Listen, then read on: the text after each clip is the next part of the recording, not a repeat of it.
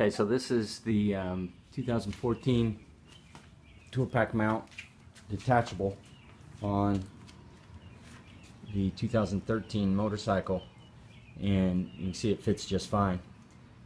If you have the four point setup, the points where these connect here and the detachable are they're they're perfect. They're in the same spot. So even though it doesn't cross-reference it that way in the um, parts catalog, that 2014 Tour Pack detachable mounting uh, rack is what you need. Of course, these are from a 2013, the four point, because those would be different. And also, if you were to put on a permanent rack as opposed to the detachable, those would not be the same.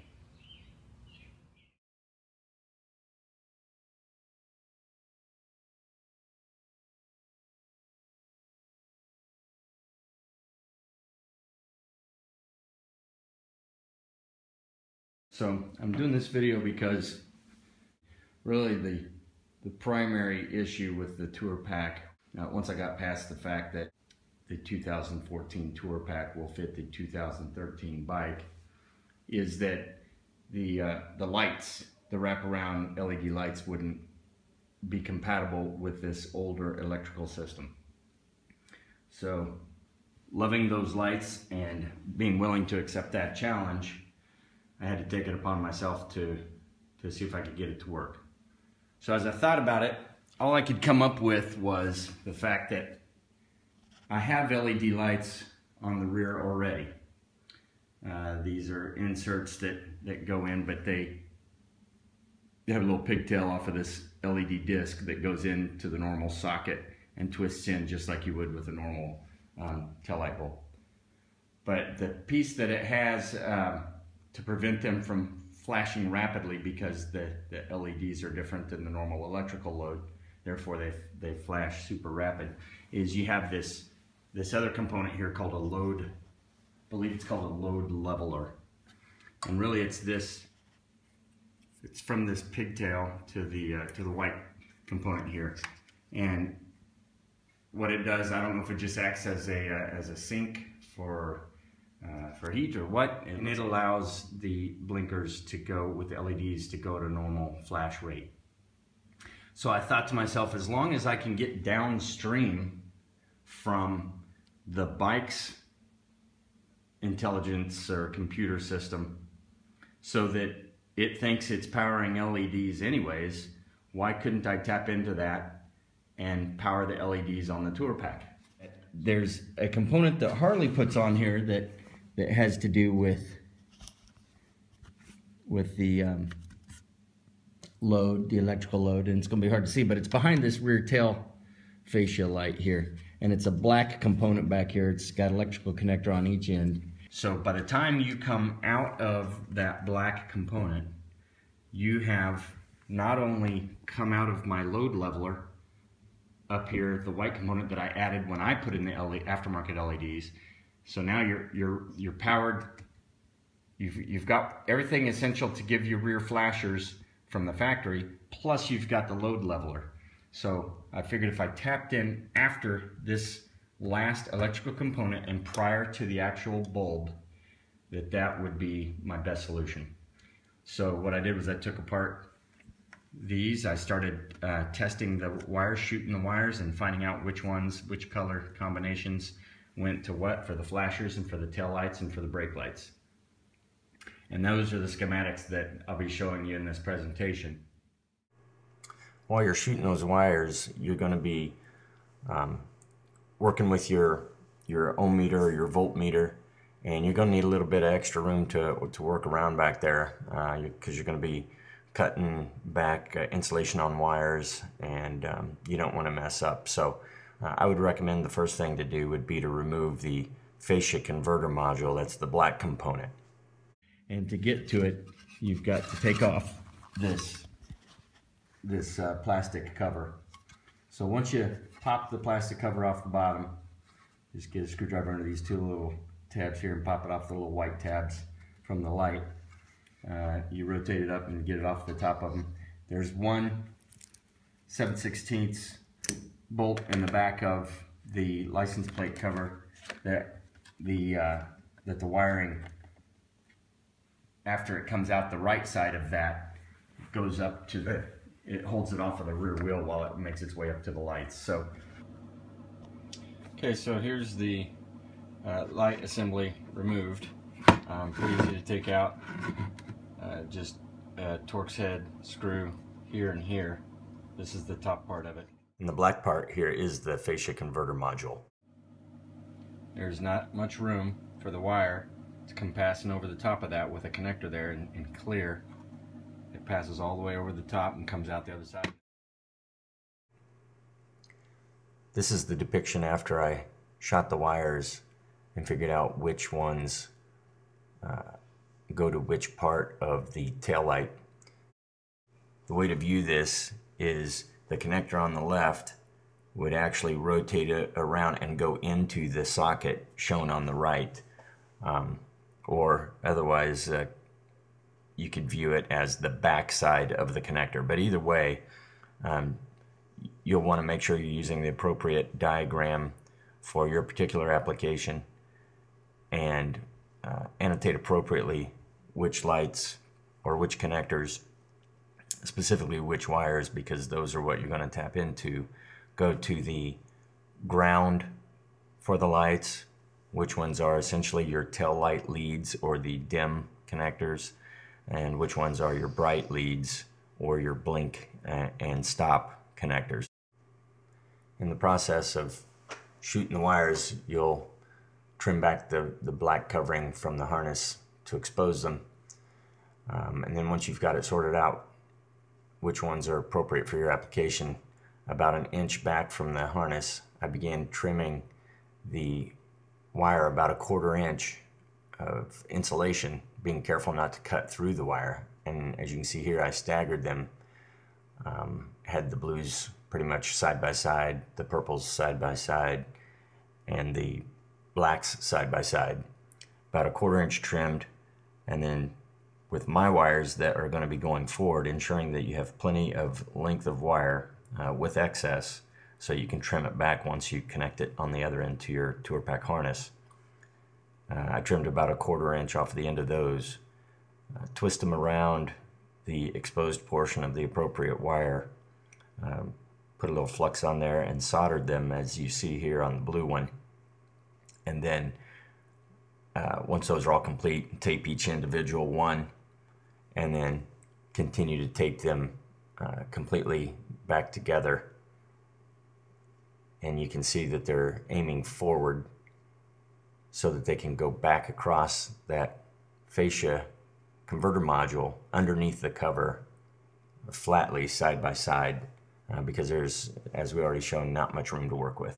So once I had those spliced I retaped it picky buddy taped them across the top have them come forward nice and neat and flush and then over here pairing up with these other wires and working their way up to the front.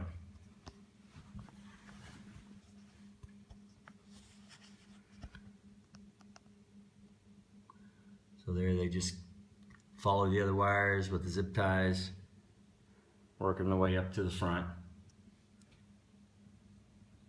Already got these taped up, you can see here. Uh, here's where the one goes up to the top. That goes to the tail lights and to the and to the license plate light. Um, this is the that goes on the bolt right there behind them. That's the one 7 16 and so what you end up with is when this is all put together, these going in the input and the output of that electrical component. And then these are the flat wires that transit underneath the plastic cover that will cover it all and protect it from all these elements.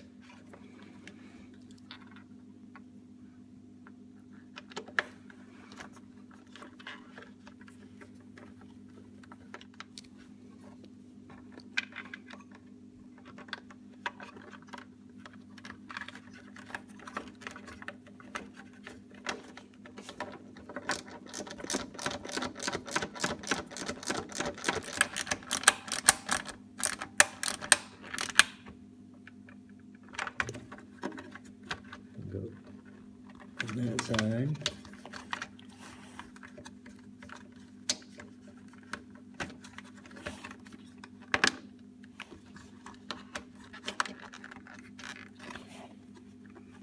in.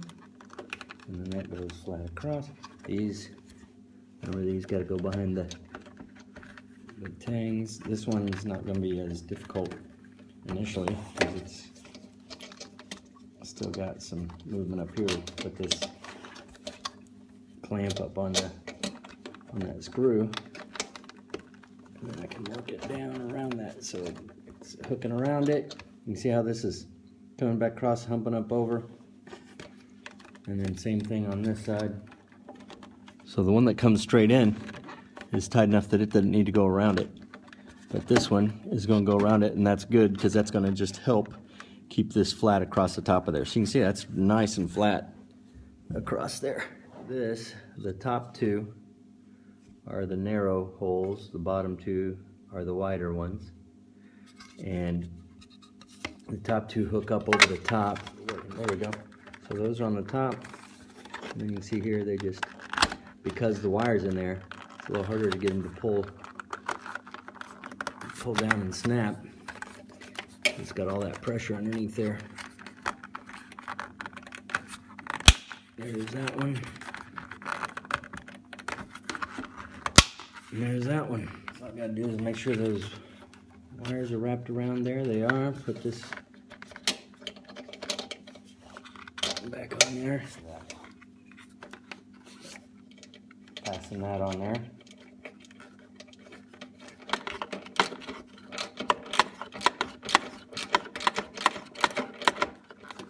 All right, all nice and neat.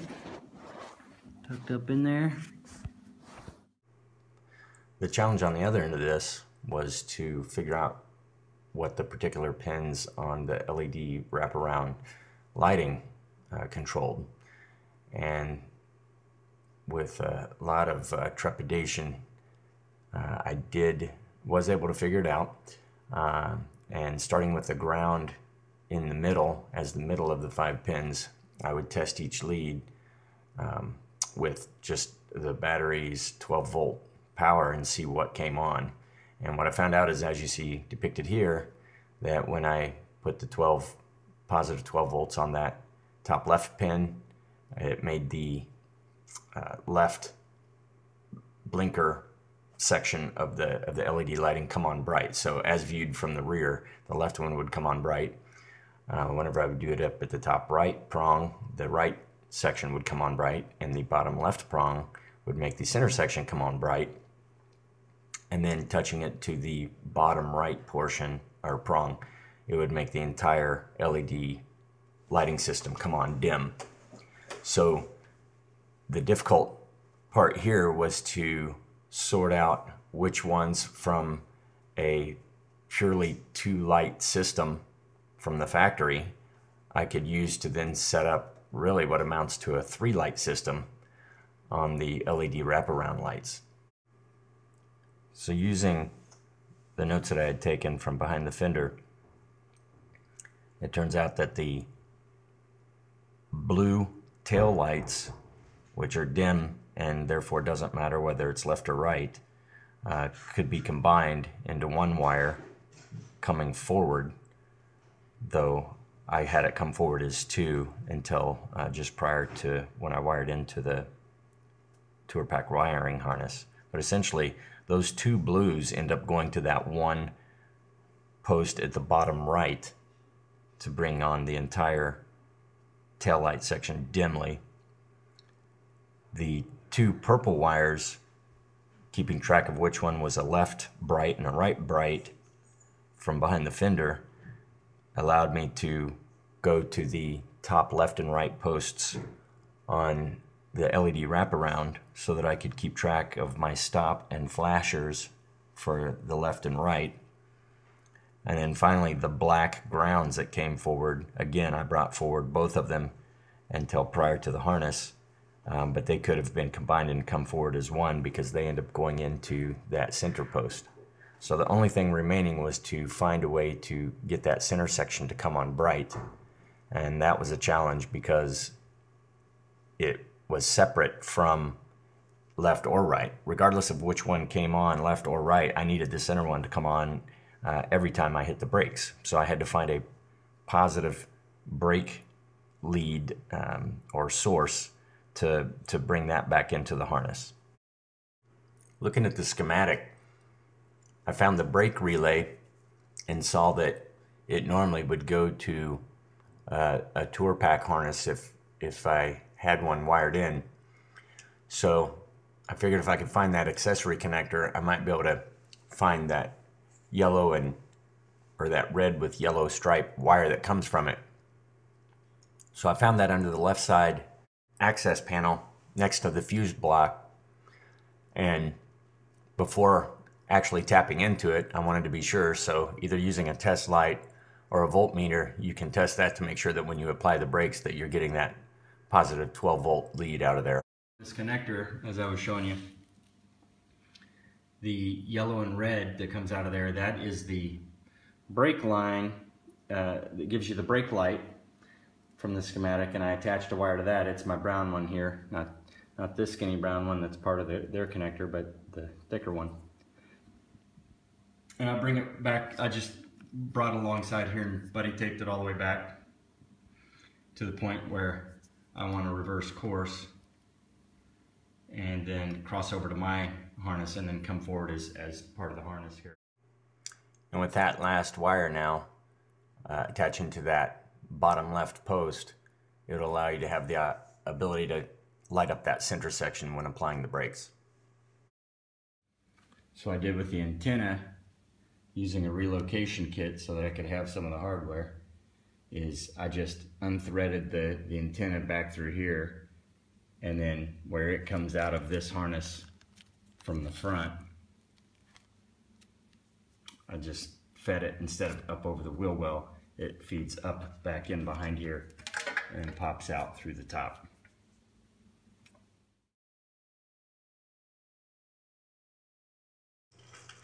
It's hard to believe that when you buy a wraparound tail light from the factory that it wouldn't come with a template for how to install it.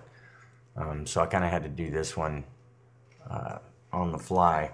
And essentially what I did was to keep everything straight was the three measurements pictured here. Uh, from the top edge of the tour pack to the top of the boss, the embossments for the antennas.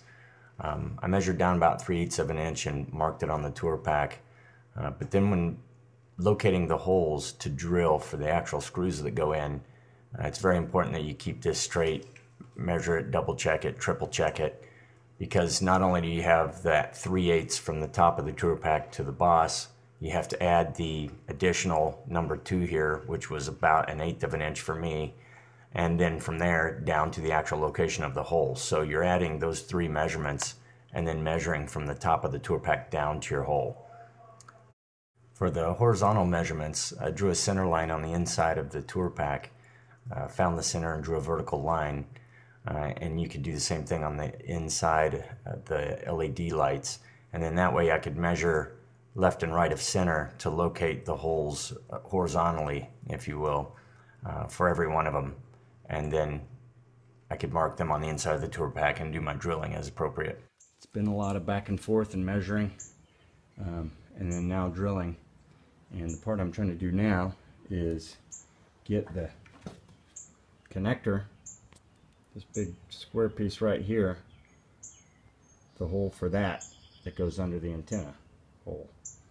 And so it's been a lot of eyeballing and drawing the square that I believe I'll need and then now I've pre-drilled some smaller holes from the inside. Pretty much on all these I took a, a really small drill and drilled from the inside first because I wanted to find out where I would start from the outside. I didn't want to be drilling with a big drill from the inside and popping the paint out on the outside. So went in with a little one, created a small little pilot hole, then came around from the outside um, with the bigger drill and and put the size hole in there that I wanted. Same thing especially for this this half inch hole that I did here for the antenna and then now these that I'm getting ready to do for the um, for the connector the electrical connector that'll go through there so put the I put my half inch drill bit uh, up against the inside in here the half inch bit so that I could see where it was coming with relation to the edges that I'd drawn and then I pre-drilled it with this small bit here so that the pilot part of the half inch bit we'll be able to start pre-drilling from the outside. So here goes that. And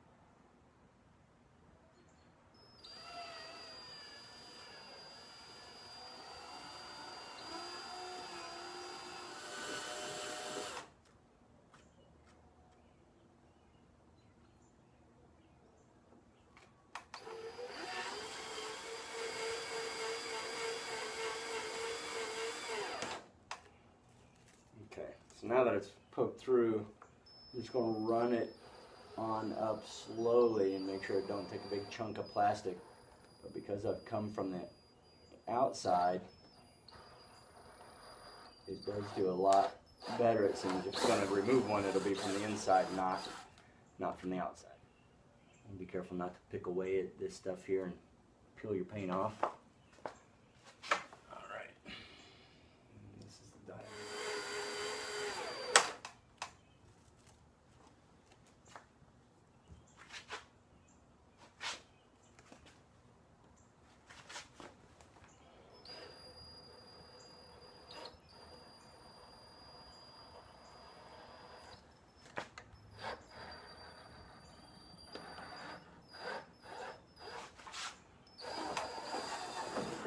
Okay, so the last one there where I paused actually did take a little bit of a chunk out um, on the inside, but it's inside that square, and like I say, it's on the inside, so it didn't chunk off any of the paint. I've got a one of these quick disconnect, easy lock cutting, and it's a thin cut. I'm going to use that to try to not try, but to get this out.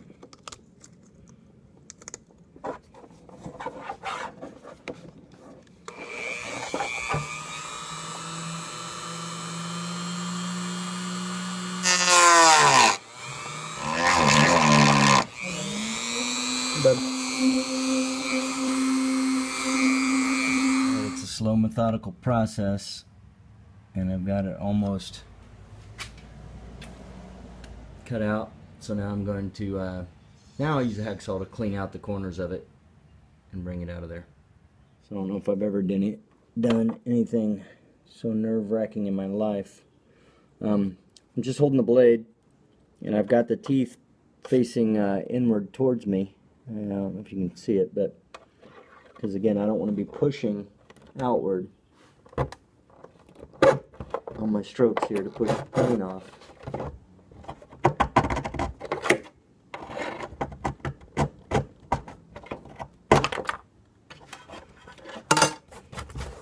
Okay. Circles are much easier. Just taking a razor blade. Here, it's what I've been doing on all the holes to clean up the plastic around the edges of them.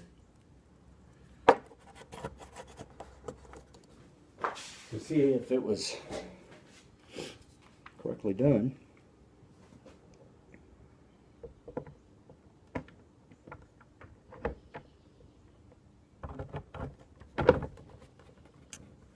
Voila.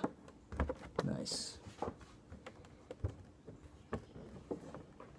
I might have to, uh, I'll have to see when I, actually, you know what, I bet I'm going to have to make it bigger, because the connectors,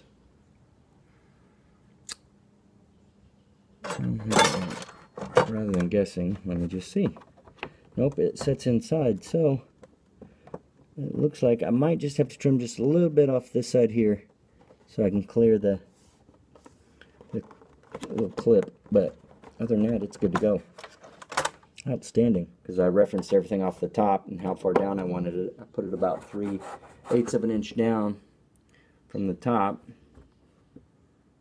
um, to the tops of the uh, the antenna embossing there, where they rise up just a little bit. Not the not the actual bolt, but the the plastic itself. Um, three eighths of an inch down to that on each side here, and that was my reference. And then I was able to measure down here, measure from center, left and right to locate him. Um, but again, these, I because the uh, well, it's pretty level. I might still be able to drop down and get that measurement this way. It's the front aft one that'll be kind of hard since I have a curve here and not a real good true surface to measure from. Okay, so I didn't have a whole lot of luck trying to locate the side holes here, so got an idea online that somebody had done something like this with an older model, so I put some tape on, the uh, just some painter's tape there, put the light on there in the rear holes, and then just marked around the edge of it so that I could get the, uh, the outline. And then I took the actual light itself, laid a piece of paper up against it, and then on the other side I traced around the edge of it and then marked the whole locations. So now what I'll do is take this, wrap it around here, and line it up, and then I'll have my whole locations. But what I'm going to do first is um, mark the line here with a darker marker so it'll show through the paper better. So I'm going to try to get it lined up. Okay, so I've pre-drilled the pilot holes now. And so now I'm going to go in with the my final size here for the bolts.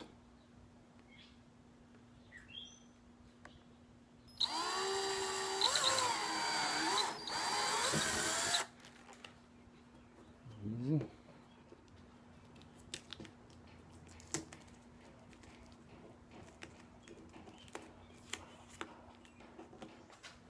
I'm just going to clean out, push all that flush, and then come in from the inside.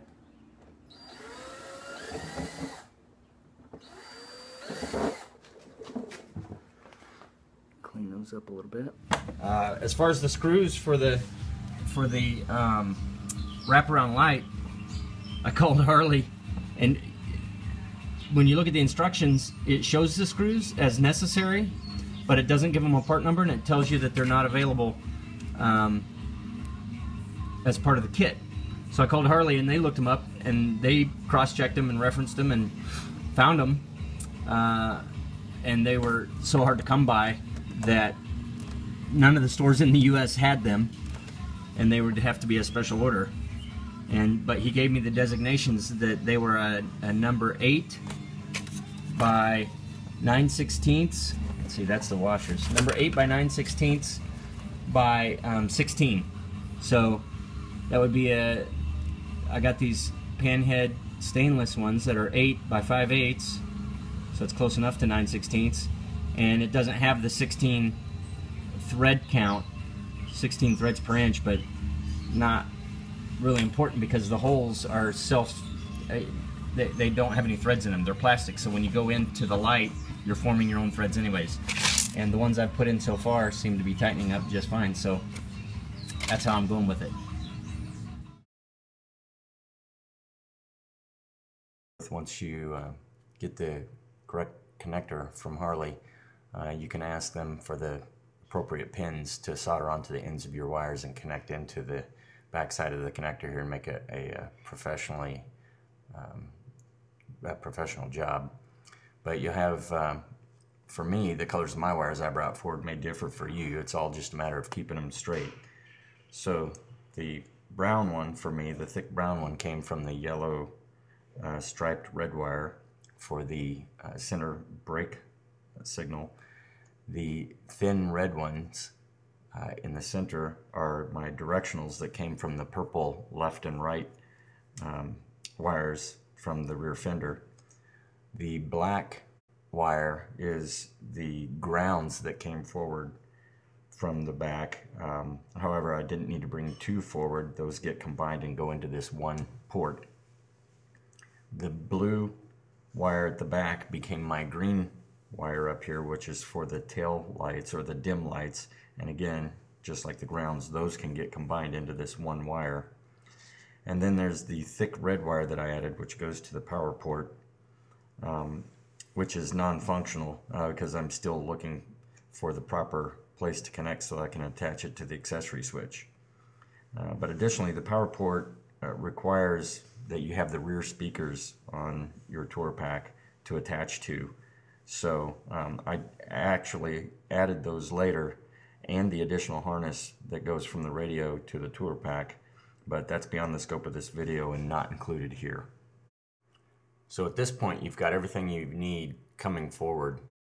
So with the purchase of the harness appropriate for that tour pack so that you have that, that five prong connector going into the LED light, you now just have to plug into that harness that you procured and everything should line up as long as you've double, triple checked everything for the pinouts behind the LED lights uh, coming from your six-way connector. Here, here's my connectors I've put on here. Uh, this is the one right here that has the the six prong, the actual connector to the harness that goes to the tour pack. And then this is my modification or what I'm using for the for the uh, antenna.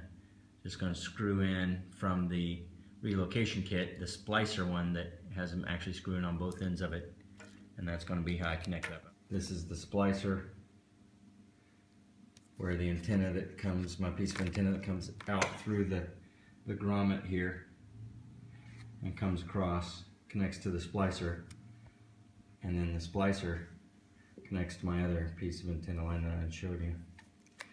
And then these are the two connectors, the four prong for the speakers and the six prong that goes to the plug outs inside for the lights.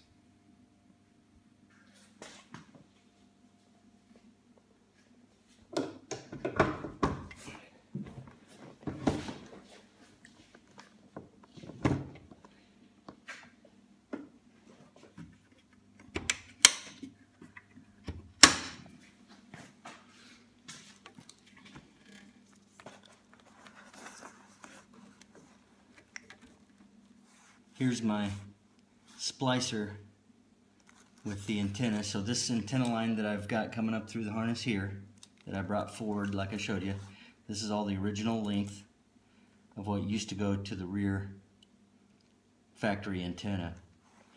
All I did was take off the little piece of metal that's clamped around it that holds it at a 90 degree angle and then that allows it to straighten out and then with the splice from the antenna, antenna relocation kit, I'm good to go there. And I just tighten it up.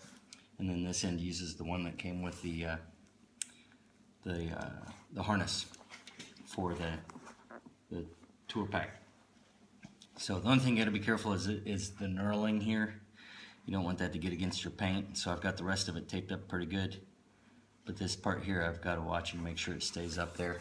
I'll probably end up putting a piece of cloth or tape around it or something if I'm, if I'm not going to be taking this off and on very much. But uh, here's my six prong connector. This is the one that I made. Here's the one from the harness. I've already got them sized to go together just right there. And then of course the one for the additional speaker speakers. So got them all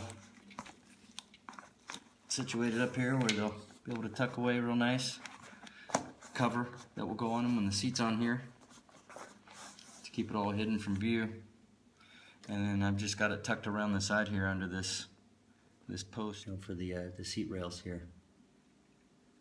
So it just comes up under here and wraps forward. And that, pretty much with the exception of my power port, is the finished product.